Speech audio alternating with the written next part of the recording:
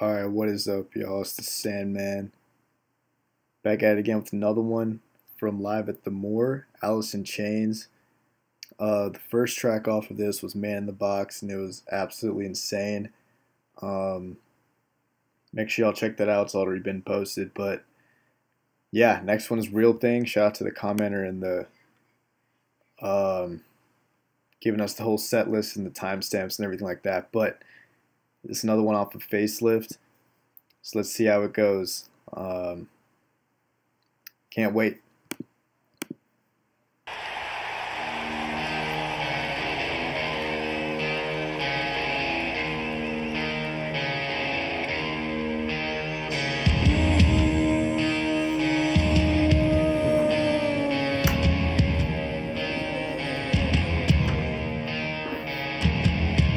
Mess around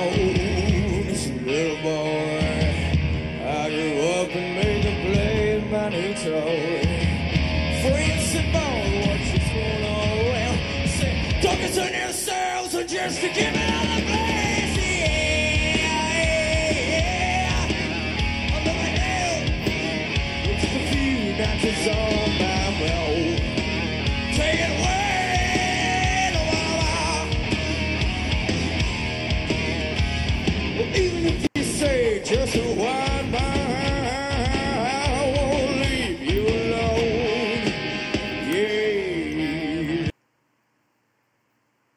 Right off the bat. Um, this whole thing's based off of that that constant riff throughout the whole song.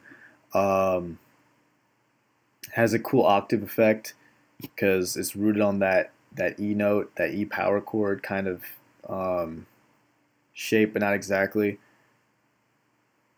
Um, and then going to the the F power chord and da da da da da, so it sounds really heavy. Um, the classic like half step changes from first fret to open. Always never go wrong with that, but just the way he builds up and escalates the whole song, Layne does, is just a work of art because he has so much, you know, dynamic to his voice, the rasp, the clean tone, the little grungy, the er sound that he does, like the marbles in your mouth effect. Um, he has so many tools to work with. He can change the whole mood just from section to section, and you just on your edge of your seat. Um, not many people can do that. So, yeah, the, and the rasp it just sounds so badass in this. Um, and he's just doing it effortlessly. You can tell.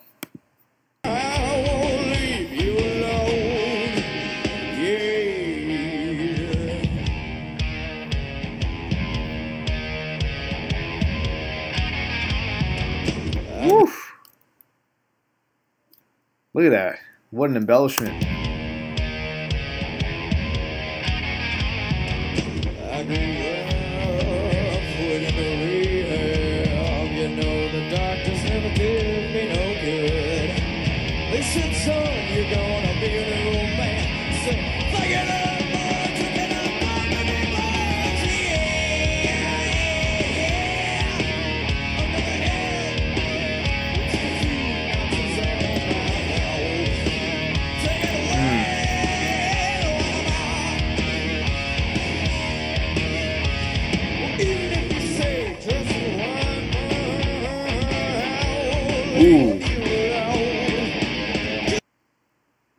Yeah, and I forgot about that part too. The dun, dun, dun, that part. Um, it sounds different though, because I, I have heard the studio from uh, version of this one, um, but it sounds different. It sounds more twangy. Maybe it's just a tone, um, but it's cool. It sounds sounds different. sounds a little funkier, but overall, that entry, that entry into the chorus, just so badass. It's so epic. That's something I'm replaying for sure.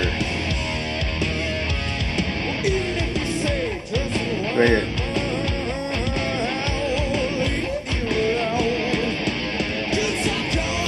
Woo!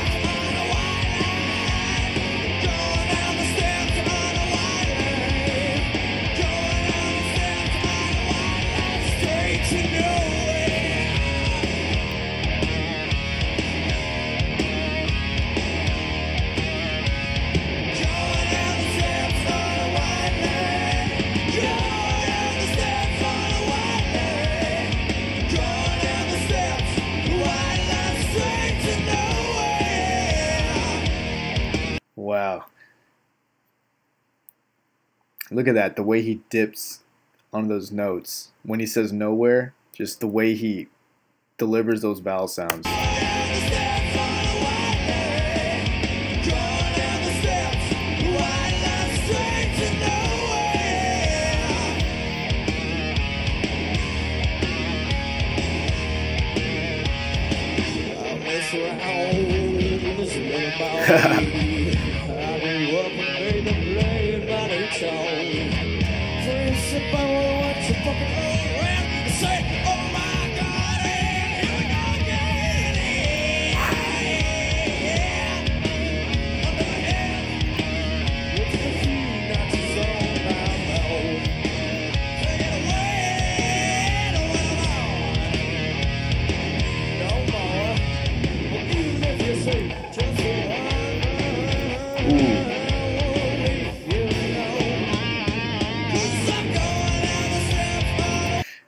And again, you know, these guys, just to point out the, they use a lot of octave-based riffing, um, from what I've noticed.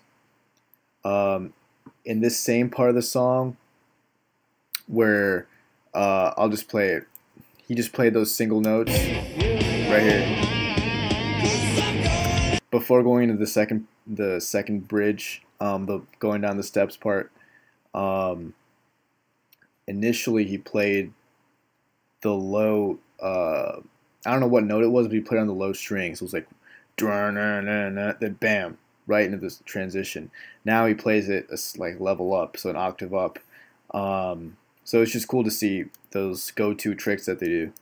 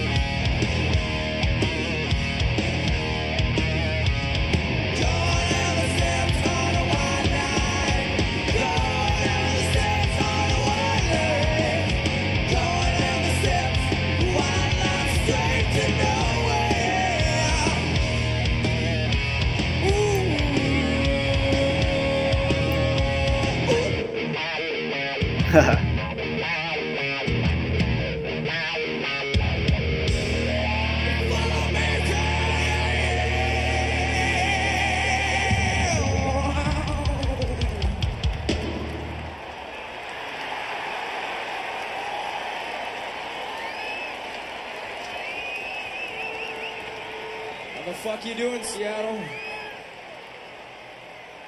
It's great to be back. Such a warm welcome.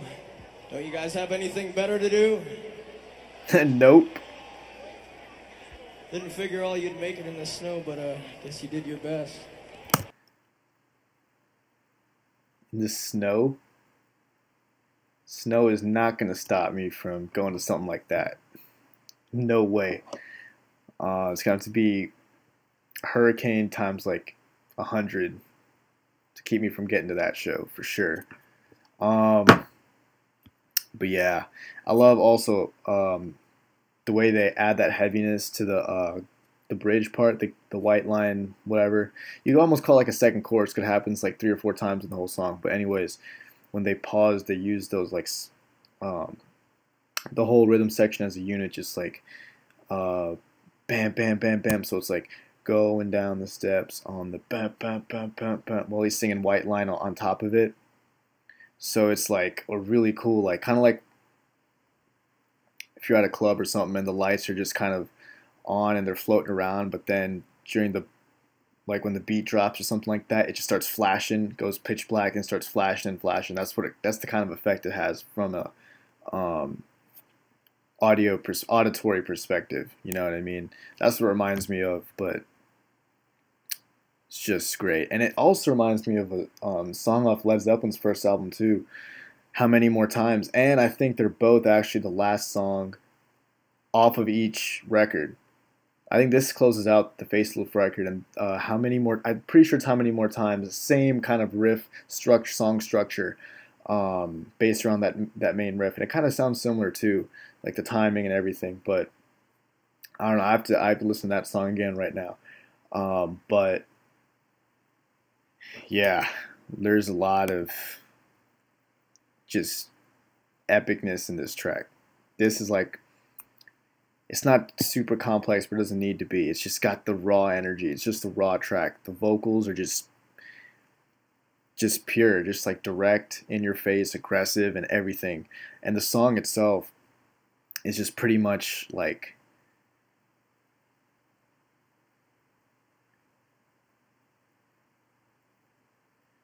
yeah, it's just kind of the same. A lot of those themes of like um, drug abuse, just not giving it, not giving a shit about about it. You know what I mean? Um, just indulging, reckless indulgence, rec- with reckless abandon. You know what I mean? That's what this song kind of reminds me of. Um, but yeah, so so far this is this was epic. Um, yeah, definitely gonna close this this whole uh, set out. So make sure stay tuned for that. But that's it for me. Banger, 10 out of 10. Peace.